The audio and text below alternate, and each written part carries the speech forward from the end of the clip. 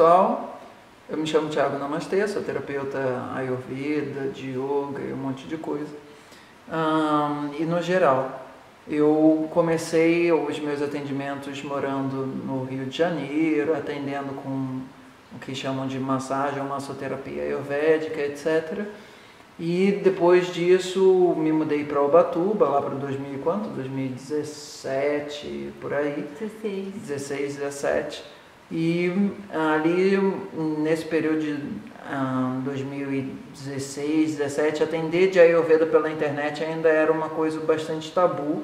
A gente já estava usando o Zoom né, nesse período, não para ter aula, mas para fazer consulta. E na verdade era o Skype nessa época interessante, bem lembrado. E estava nesse processo de transição, esse período de 2017, 2018 a gente começou a dar aula online e assim, o que era, digamos assim, 10%, 20% do meu trabalho em termos de atendimento de 2012 a 2016 pela internet, eu atendia gente que morava na Áustria, atendia gente que morava nos Estados Unidos e tal, e via os nossos vídeos no canal, mas nesse período de 2016, o meu, digamos assim, meu emprego, né, o meu business, ele se transformou num emprego à distância de uma coisa que a princípio as pessoas não sabiam que era possível de ser à distância. Que nem hoje, outro dia, a minha esposa fez uma aula de dança africana pelo Zoom. Ah, e a princípio dança africana você não faz pelo Zoom e etc. Mas isso vem no contexto de um monte de gente está começando a ter que trabalhar de alguma forma, oferecer o serviço presencial que ele, digamos, é o normal dele, pela internet. Foi ótima dança. E foi ótima dança. Quem quiser a indicação é a Janete. Janete Santiago. Janete Santiago. Então, a minha esposa também está fazendo aula de flauta pela internet, coisa que a professora dela antes também não tinha muita abertura. Ou seja, estamos muito trabalhando pelo computador. E uma coisa que é importante nesse contexto que eu gostaria de deixar claro é o quanto de tempo você consegue trabalhar no computador se você não está muito acostumado à vida de escritório é bem menor do que você faz fora do computador. Quando eu fiz essa transição, o tempo que eu atendia, três horas o atendimento, assim, três horas presencial, passou para ser igual ao atendimento de duas horas em termos de esforço que acontecia.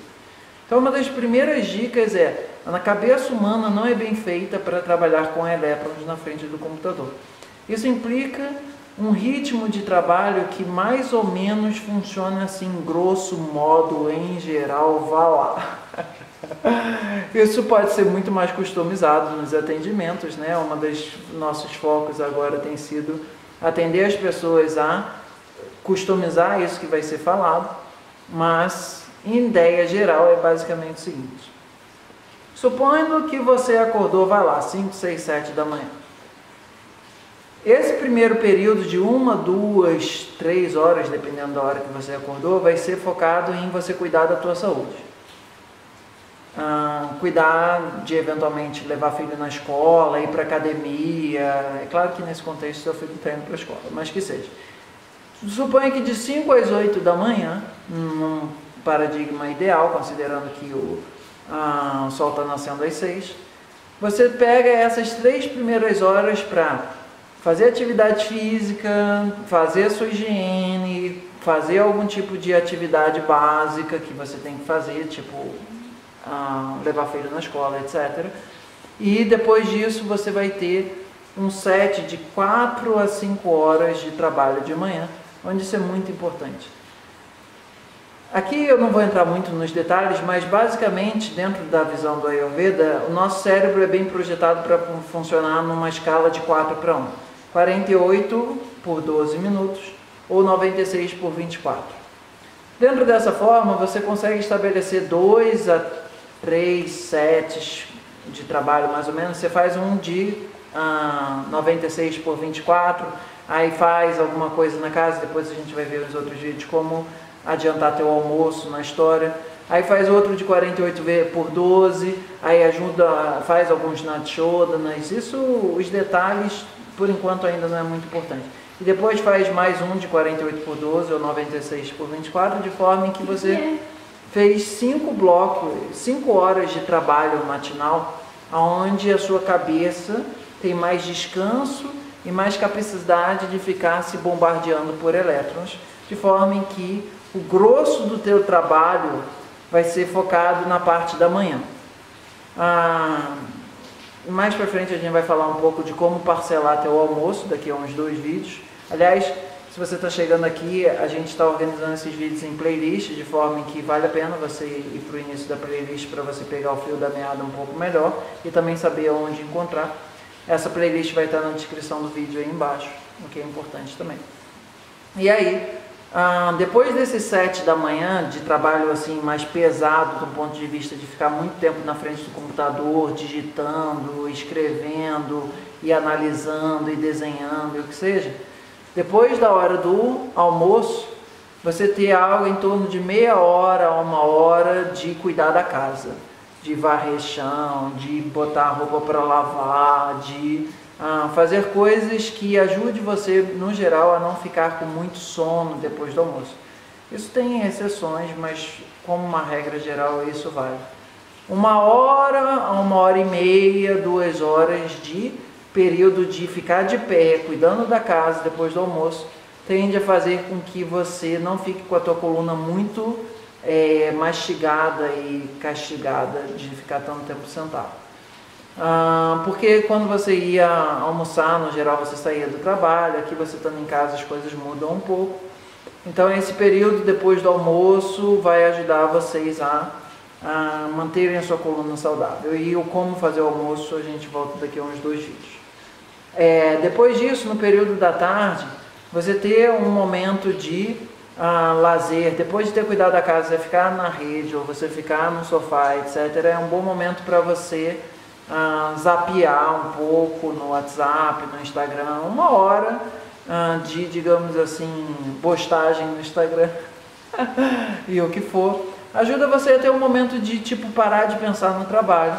E aí você tem potencialmente mais duas a três horas de tarde para lidar com a criança que está em casa no Covid, é, fazer coisas que estão relacionadas a tipo fazer compra para casa, ah, ligar para agência de viagem para ver como é que está a, a questão da passagem que você comprou e não sabe quando vai ser, coisas do tipo. Você organizar a tua vida e principalmente do ponto de vista do dia seguinte, organizar o teu trabalho para o dia seguinte. Dedicar algo em torno de uma hora, duas horas para você ver o que, que você tinha que ter feito, o que você fez, o que, que você não fez. Organizar o teu a tua estrutura para o dia seguinte, porque, gente, cinco horas de trabalho, se forem trabalhadas, dá mais de conta do que você precisa fazer nas pretensas oito horas que você trabalha no escritório, etc. E é de regra. Ah, e aí, chegando o, a parte do final da tarde, tem uma questão do Ayurveda Feliz, que a gente, digamos assim, fala no próximo vídeo. E o período da noite, você ah, sair um pouco da quantidade de telas e de preferência, no mundo ideal, escureceu, você já não vê mais nada brilhante. TV, lisão, smartphone, tablet, etc. Nem Netflix. Ok, a gente depois a gente volta. Ah, mas nem Netflix eu não vou conseguir. Ok.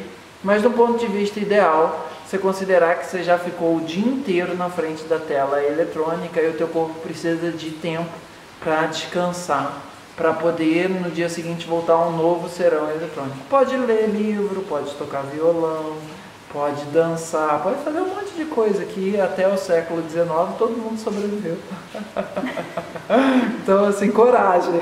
Eu sei que uh, outro dia a gente mandou uma mensagem, ela falou assim, não, porque eu estou fazendo jejum intermitente de celular. Eu só estou pegando o celular de 10 da manhã às 6 da tarde. Aí uma resposta foi assim, mas eu não consigo, não tem como e tal. Dado o nosso grau de dependência dos ah, tablets e smartphones e etc. de hoje em dia. Bom, no próximo vídeo a gente vai falar um pouco sobre é, desde quando vivemos o mundo de trabalho atual e voltamos um pouco às nossas reflexões sociológicas. Se você gostou, dá o teu like, comenta, compartilha, que pra gente é bom saber como que você está é, sentindo com essa série. Ah, e quem quiser marcar atendimento para afinar a rotina, etc., Ah, tem os nossos e-mails, tanto comigo quanto o da minha esposa, aí embaixo para vocês verem na descrição do vídeo. Certo? Namastê!